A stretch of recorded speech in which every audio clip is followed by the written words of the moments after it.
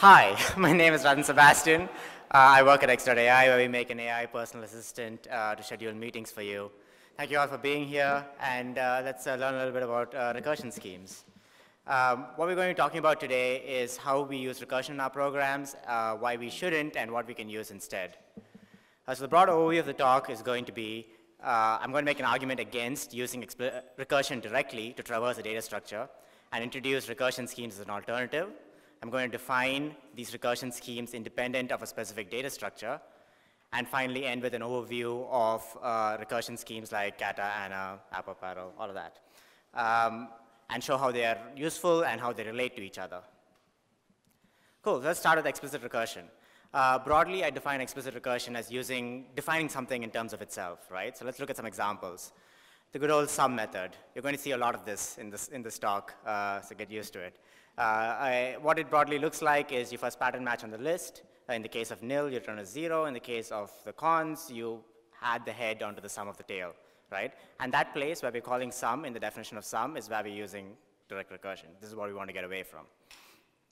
Um, another example of direct recursion is this, right? Just the definition of the list data type. Uh, by the way, uh, in the course of this talk, I'm going to omit the type parameter of list. Just assume that all lists, all data structures are just data structures of int. Um, yeah, that, that, that, that axis uh, of data structures, that, that parameterism of data structures is not going to be relevant to what we're going to be talking about here. Anyway, the definition of the uh, cons uh, constructor uh, for this linked list is recursive. It refers to the structure that it's defining, right? So this is explicit recursion. We'll come back to this later, but for now, let's just stick to recursion uh, in function definitions. Okay, so that's what explicit recursion is. Why is it bad? Um, an argument, uh, the, the, argument against uh, explicit recursion is uh, a convincing version of this for me was by way of analogy to GoTo, right? It's also a popular argument. It's been brought up a few times. I think first in the bananas, lenses, envelopes, and barbed wire paper, which is kind of the canonical paper on this stuff. Uh, the argument goes, uh, the common, a common use of go-tos is to implement loops uh, to do something repeatedly until a condition is met. so introducing this new, less powerful while construct the, the, the loop, um, allowed you to do what you were able to do in the GoTos in a more structured and safe way. And structure and safety is kind of the benefit of any kind of good abstraction, right? Structure in that it's easier to tell that the loop implementation of this program uh, is a loop. Uh, we have a mental model of the program. We're just looking for the parameters uh, that we need to like plug into this mental model to see what the program does, right? Um, it's, uh, so with a more powerful tool like a GoTo, you're, you're starting from scratch. You're building up the mental model and then, you know, like figuring out like what, what the parameters are that you can tweak to change the behavior of it. Um, the safety that it provides, uh, it doesn't stop you from writing uh, infinite loops, uh, but it prevents you like from getting the label top of the loop wrong, right? Uh, which it has, so basically you, you get fewer knobs when you're using a loop, which means fewer mistakes. Uh, so recursion schemes are to explicit recursion what loops are to GoTos, abstractions that allow us to traverse data structures in a more structured and safe way. Uh, they're kind of like machines that given some parameters will give you a program that traverses your data structure in a certain way. So the kinds of data, the kinds of recursion schemes we're going to be talking about today uh, broadly fall into categories of uh, schemes that uh, consume data structures and the ones that generate them. So these are patterns uh, in which, so we use recursion in these patterns which consume data structures and generate them. Um, the, the, the, cata and para examples of uh, recursion schemes that uh, consume a data structure, uh, Ana and Apo uh, generate them, uh, and Hylo is kind of a mix of both. So let's start uh, with catamorphism. Uh, uh, it's called uh, catamorphism, kata meaning downward in Greek. Uh, it's more commonly known as a fold, uh, like hands up if, if, you're familiar with the fold right or fold left constructs and lists in Scala. Fair amount of you, right, sure. so this is one of the more common recursion schemes, so we're not going to be spending, so we're starting with this so that we get an idea of like the advantages of using fold over direct recursion. Um, so what, what, it does is it folds a data structure down into a single value, kind of abstractly, for any data structure. Uh, so let's start with our um, definition of the uh, sum function again. Uh, we pattern match, return zero, add the head onto the sum of the tail, right? So we don't want to get away from calling sum in the definition of sum. Uh, we do this in a few other places, right? Length looks exactly the same. Just instead of head plus sum of tail, we have one plus length of tail. Uh, counts, you know, you want to count all the element, number of times an element occurs in a list, looks similar. Um, you might want to do two of these things at once, right? You want to compute the sum of a list as well as its length uh, at the same time in a single traversal, and then you end up with something like this. You can see there's some sort of duplication going on between here and the definitions of sum and len, and uh, we'll get back to how we might be able to reduce that. And that's where the recursion is. Um, so you said you're familiar with the, uh, with, with the abstraction we're looking for here, which is fold, right? Uh, so you want a function that takes a list and reduces it down to a single value, any value b. Uh, and to do this, you need two things. You need a value to return if the list is empty, and you need an accumulate function that takes uh, the value you're visiting in the list and the value accumulated so far and returns the newly accumulated value. Um, let's define, let's implement this, uh, again, by kind of generalizing sum. Um, we are assuming that if empty and accumulate exist in this context. So sum becomes fold. Instead of returning a zero, I return an if empty. Uh, and instead of, instead of summing the head with the sum of the tail, I accumulate the head with uh, the fold of the tail. Right, so I've kind of uh, pulled out the stuff that's specific to sum using this definition of fold. Uh, and now I can implement sum, len, and counts all in terms of fold. So great we've isolated explicit recursion from lists, right? Um, what about other data structures? Let's take this tree, for example. It's a binary tree. Uh, it has a branch which has a left and a right tree, and a leaf which contains a value of type int. Um, what does sum for a tree look like? We pattern match on the tree. Uh, we get um, leaf and a branch. In the leaf case, we just return the value in the leaf. In the branch case, we just sum the subtrees. Um, Cool. Let's do the same thing uh, that we did for list and isolate the recursion from this uh, function into a fold method. Uh, so sum becomes fold. Instead of returning an A, I need some function that can take any item in the list and return a B, right? So in, in the case of sum, it was just A because I just went from int to int. But if it's any other type, I would need uh, some sort of if leaf function that took the item in the list and returned a B. Um, the same thing with, uh, instead of plus, I have a generic accumulate function that just accumulates any two b's into, a, into a, a new b. So given the functions if, leaf, and accumulate here, I can define a way to collapse a tree. So let's compare that to the, to the inputs of the fold function for uh, list.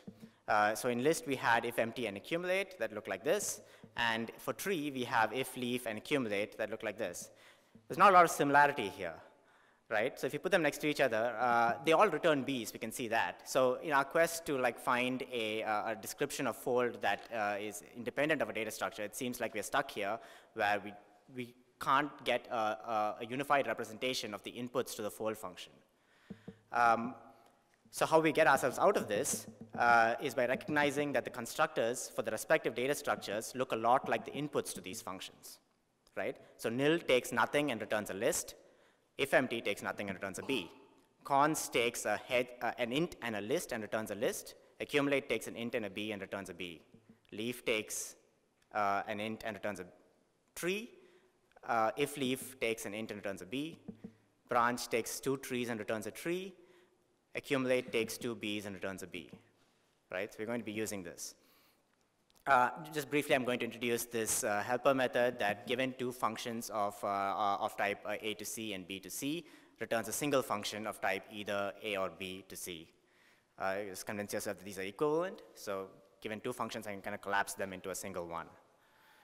Um, and I'm going to do this with the functions which are the input for the fold function for list, right? I'm, I'm, I'm just rewriting if empty from type B to type nothing to B. And, and then I can represent both of these functions as a single one uh, of either nothing or int and b to b.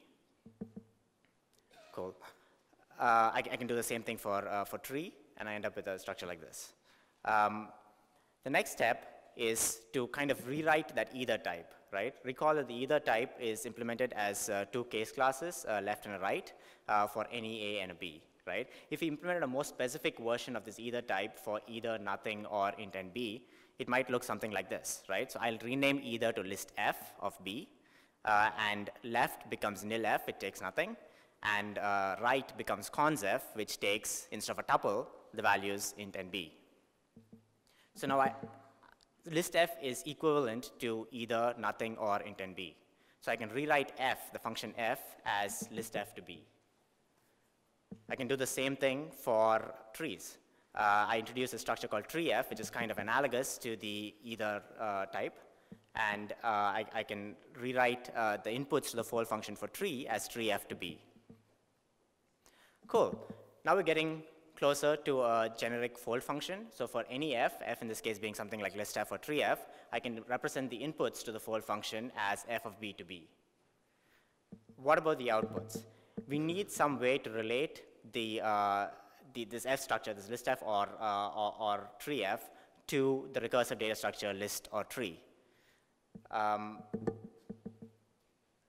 so let's just try using the constructors that we already, the, the nilf and consf constructors that we already have, um, like we would nil and cons for a list, right? This is what a cons list would look like. Um, the problem is the type of this list is this, right? And it's a type that changes every time you add a new element to the list, which is not terribly useful if you want a homogeneous list. Um, so to get around this, we have to introduce this new construct called fix. Uh, it's a case class that takes an f of fix of f, but another way of thinking about this is that it's a function that takes an f of fix of f and returns a fix of f. So it's removed one layer of f, right? That's one way of thinking about it. Uh, that seems useful for what the problem we have now, which is to kind of collapse this, uh, this, this stack of list f's. So the type again, so let's just add fix to every node of this list. Uh, the type of this would look like fix of listf or fix of listf right? Uh, so the first step here is I, I replace the nothing since uh, I'm downcasting nothing to uh, a listf, a fix of listf, right? And now you can see that the, the function fix that takes a listf of fix of listf and returns a fix of listf can be applied here to kind of reduce this data type into just that.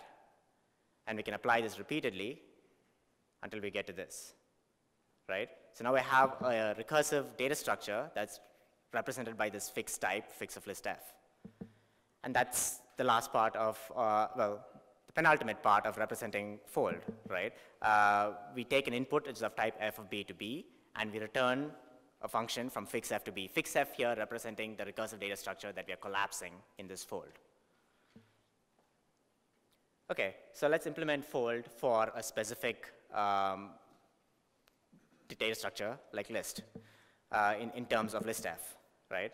Uh, so first we it's the same pattern that we followed for sum. We first pattern match on the input. If it's nilf, then we apply alg, by the way, the, the, I've called the function uh, fb to be uh, alg, short for algebra. Uh, it's, I don't have a good idea why it's called that, but it's a pretty common term, and you'll encounter a lot when, when, when, when using this stuff, so it's good to know. so so the first thing I, I, do is I pattern match on the fix of list f, and uh, if it's a nilf, I apply algebra to the nilf. If it's a cons I apply algebra to the cons of h and the result of recursing on the tail. Right? So um, let's uh, kind of break this up a little bit. Uh, instead of pattern matching on the fix, I'm just going to call this unfix method, where unfix is just calling the unfix um, uh, property on, on, on, on any fix. Uh, so instead of pattern matching on the fix, I'm going to call unfix first, and then do this pattern matching on the listf, and then finally call algebra at the end. So this is the same as what we saw earlier. Now, the part of this that is kind of data structure specific is that middle part, right? This part. Uh, what can we do? Like, what is that? Is that an essence here that we can extract uh, and place as a constraint on f so that we can implement this for any f?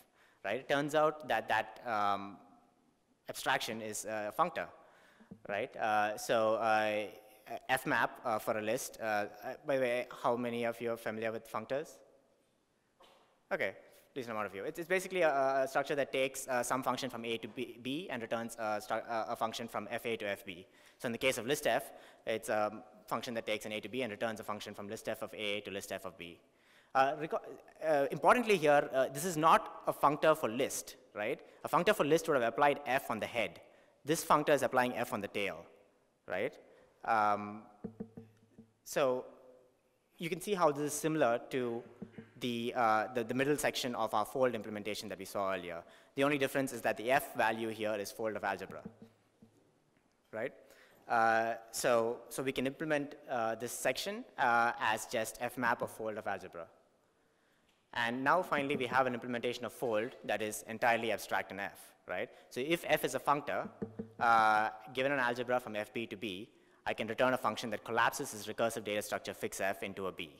And all I have to do is first unfix it, fmap fold algebra it, and then algebra.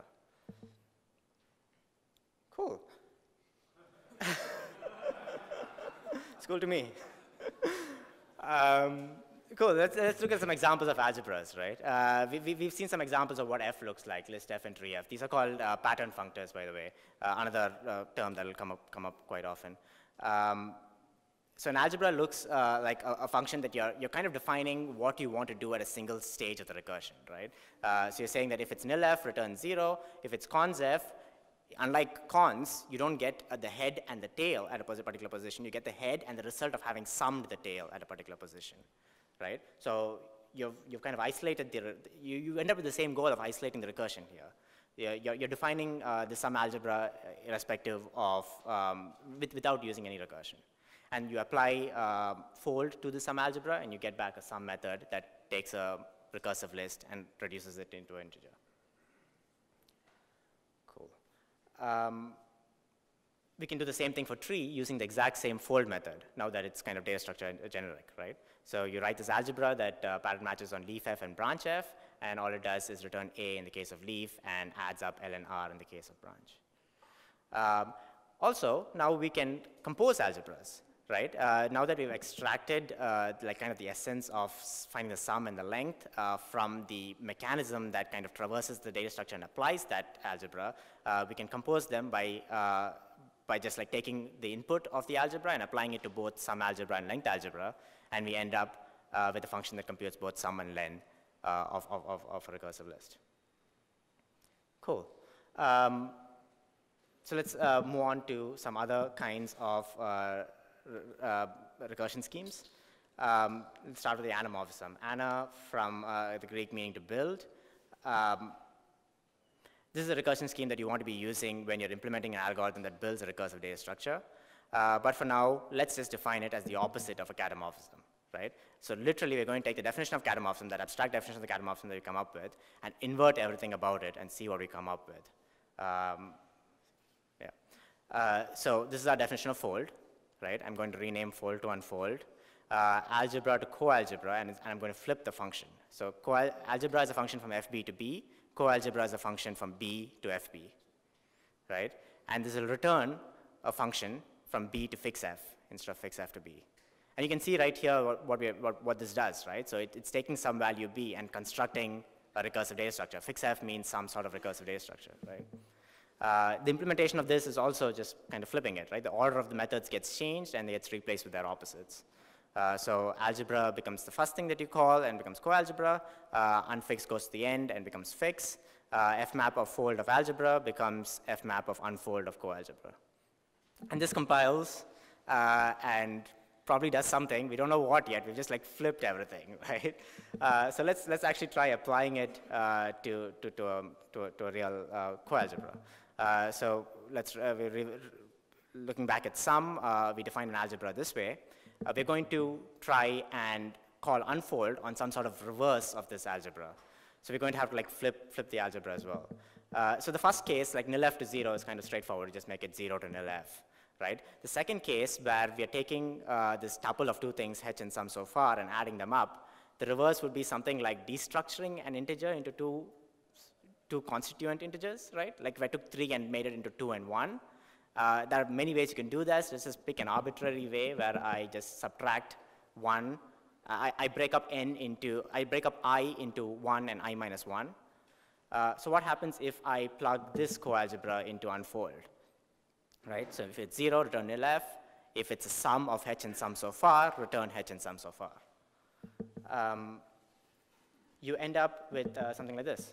So given uh, an initial value an integer, you end up with a recursive data structure that sums up to that integer, which is kind of cool. Uh, you, you have this function that, this, this function sum that takes a list and reduces it to a, to a sum, and this function cosum that takes a sum and explodes it into a list that has the property that it sums to that value. Uh, that's not a terribly useful uh, anamorphism. I, I realize I just want to, to kind of uh, show the relationships between uh, these, um, these recursion schemes uh, through, through the sum method. Uh, but a more useful one would be range, right? we do this quite often. We say like 1 to 10 dot 2 list or something like that. if we implemented using a direct recursion, it would look like this. So your pattern match and start. If you reach the end already, you're done. Uh, if not, you add the current value onto the result of generating a range with n plus 1. If you implemented this with unfold, it would look very similar. Uh, so instead of a nil, we would be running a nil f. And instead of calling range explicitly, we would just be providing, returning a cons f where we provide the next value of n. So cons f takes two, two, uh, two values. The first one is value that's kind of emitted in this uh, iteration, and n plus 1 is a seed for the next iteration. Uh, so you'll, you'll uh, I, I, think Stream in, in the Scala channel library has an unfold method that, uh, that, that basically operates like this. Um, okay, more recursion schemes. Uh, paramorphism. Uh, para meaning beside. Uh, it's like a catamorphism uh, that adds some structure to the algebra.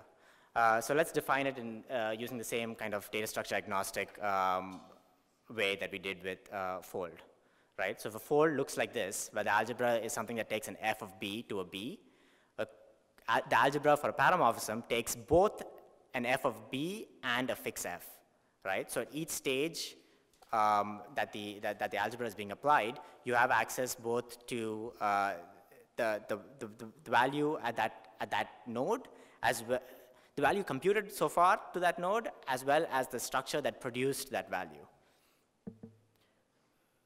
So B and fixf are related uh, in that B uh, is the result of collapsing fixf.